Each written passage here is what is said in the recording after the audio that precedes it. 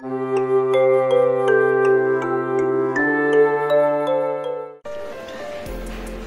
い皆さんこんにちは。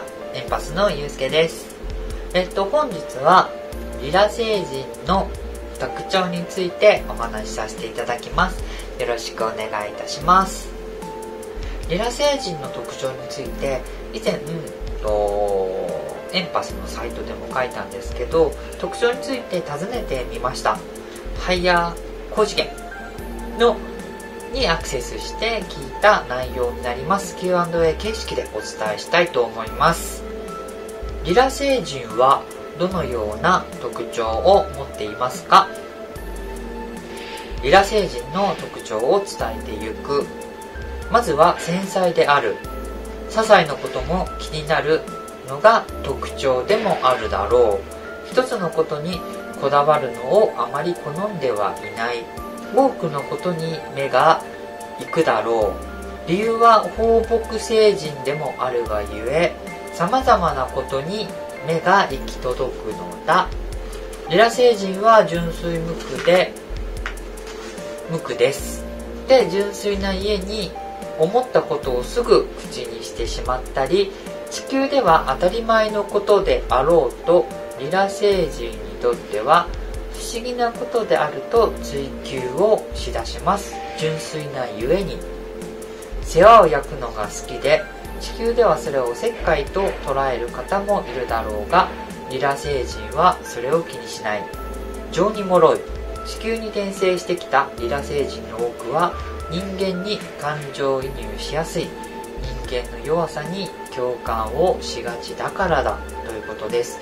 うん。これに関しては自分もすごい思うことがあるんですけどやっぱり世話を焼くのが好きなリラ星人は本当多いんじゃないかなと思います。めっちゃおせっかいだったりとかえ？っていう感じもあります。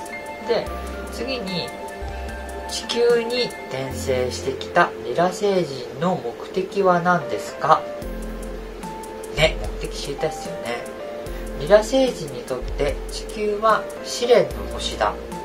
これはリラ星人が今までに体験をしたことがない負の部分を学ぶためである。負というかまあ陰ですね。陰と陽の陰を結構学ぶため。リラ星人にとって争い憎しみといった内容は体験をしたこともなく思考にもない。まあまあねあのタイミングがあってリラ星が侵略とかそういうこと影響を受けた時はあるんですけど大体の人はそんなに記憶にないんじゃないかなっていうメッセージになっております。次に地球に転生してきたリラ星人の見分け方はありますか？残念ながら見分けがつきにくい。彼らはリラ星人であることを自覚していないものが多い。それはリラ星人であることが分かっていると負の部分を知った時のダメージが大きいからだ。それならば最初から知らない方が良いという判断でスタートしてきている。ただしリラ星人の中でもすべきことや周りの影響によって気づく者もいる。気づいた時周りのフォローがないと繊細で純粋なリラ星人は潰れてしまう者もいる。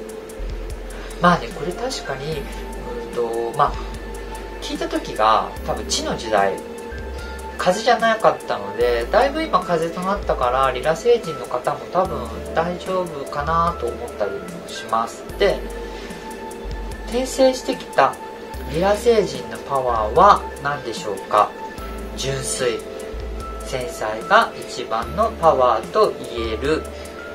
汚れを知らない純粋なリラ星人のそばに行くと人間は自身の汚い部分に気づくこともでき話を聞いてもらうだけで自然とパワーをもらえることもあるだろう。繊細な部分からは人間の性格であったり抱えているものに対して過剰に気づきやすい。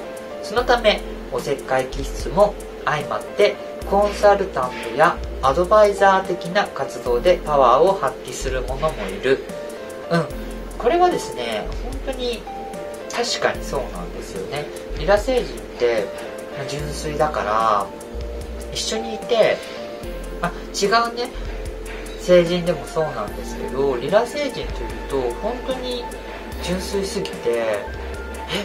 っていうことが多くて自分のねあこの部分とかそういう部分に結構気づかされてしまうってことがリラ星人といると多いと思います。で最後にリラ星人の苦手なものはありますか？ということなんですけどリラ星人って群れを嫌います。それは群れてしまうと思想が偏りがちになることを知っているからだ。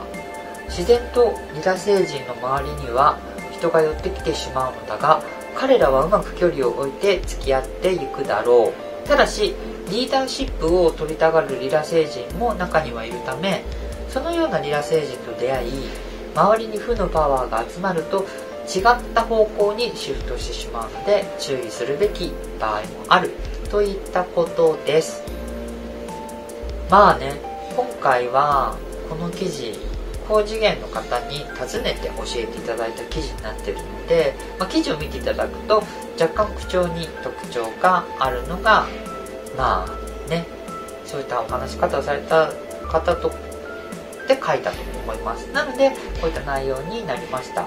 まあリラ星人は自分の中で感じるんですけど本当に純粋無垢でえなんでこんな質問してくるんだとかえーってなんでえー、これ聞いちゃうとかえこれ別に言わなくてもよくないっていうことを結構言う人が多いんじゃないかななんて思ったりもします。っていう感じで今回はリラ星人の特徴についてお伝えさせていただきました。この動画がいいねと思った方はいいねボタンあとはチャンネル登録もよろしくお願いいたします。ではエンパスのリスケでした。ありがとうございました。